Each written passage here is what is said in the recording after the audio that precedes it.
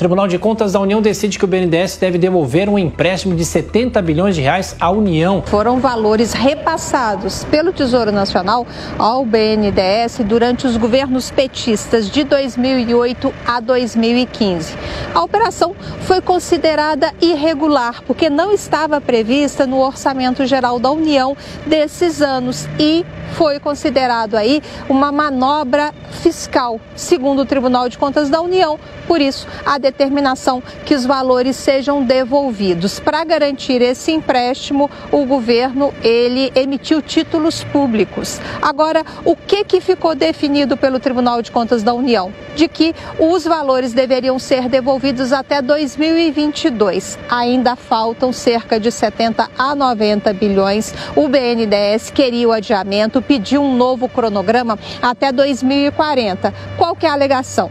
de que essa devolução nesse momento poderia significar prejuízo para o banco, um prejuízo irregular, um prejuízo é, é, quase que é, contratado, quase que sem a necessidade de socorrer. Aí o que, que o Ministério da Economia disse? Que, na verdade, não, isso não é, significa um prejuízo artificial, significa, na verdade, um lucro que não é devido. E o grande problema, segundo o próprio Tribunal de Contas da União, Tiago, é de que esse lucro do BNDES e de outros bancos públicos estariam sendo utilizados para repassar aos funcionários das estatais participação nos lucros e também vantagens pessoais que eram disponibilizadas aos funcionários. Então, o TCU determinou que isso fosse revisto. O Ministério da Economia quer que os valores sejam devolvidos até o final agora deste ano. Agora, não é só BNDES, não.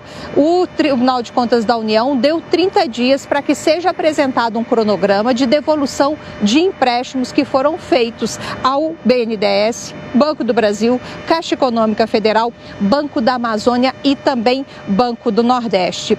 Foram aplicados no BNDES cerca de 500 bilhões de reais. 410 bilhões já teriam sido devolvidos. O TCU ainda está apurando essa distribuição irregular, essa suposta distribuição irregular de vantagens aos servidores das estatais brasileiras. Uai, seu app de vídeos curtos.